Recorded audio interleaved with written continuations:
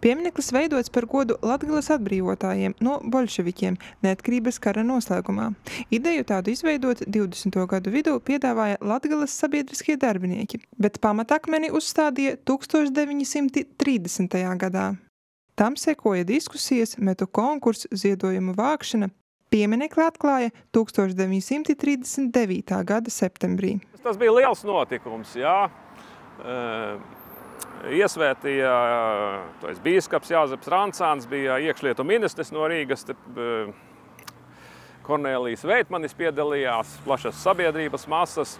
Neapšaubāmi, kā latviešiem, latgaliešiem nekādu iebildumu pret pieminekli nebija. Jā. bija varbūt mazākumtautībām iebildumi. Arī viņi pieminekli gribēja saskatīt savus attēlojumus. Savukārt baznīcas pārstāvji mulsa, kāpēc krusts ielikts rokās pagānu dievības vārdā nodēvētajam tēlam. Māras Zeme tā savu kompozīciju nosauca pieminekļa meta autors, tobrīd mākslas students Leons Tomošickis. Viņa iecerēto realizēja tēlnieks Kārlis Jansons. Jauneklis pa kreisi, kurš e, simbolizē šo te gan brīvības cīnītāju, kurš sarauj šīs važas, jā. Sievietes tēls, kuru viņa, viņa pasniedz tā kā par pateicību Ozolapu vainagu šim te cīnītājam. Jā. Viņa simbolizē arī lūkšanu. Nu, un centrālais tēls, ko mēs tautā pazīstam ar Latgales māras nosaukumu, jā, ir, ir šī brīvā Latgale.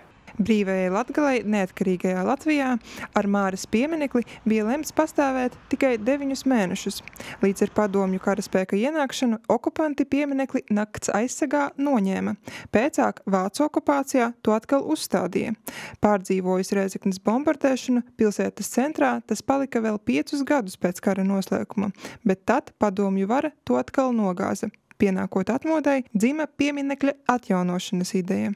Viņu atjaunoja visa Latvijā. Piemēram, šis bruģis, kas e, ved uz pieminekli, tas ceļiņš, viņš ir no Liepājas. Ziedotāji bija arī trimdas latvieši, pie darba ķērās tēlnieka Kārļa Jansona dēls Andrejs ar tēlnieku Induli Folkmani.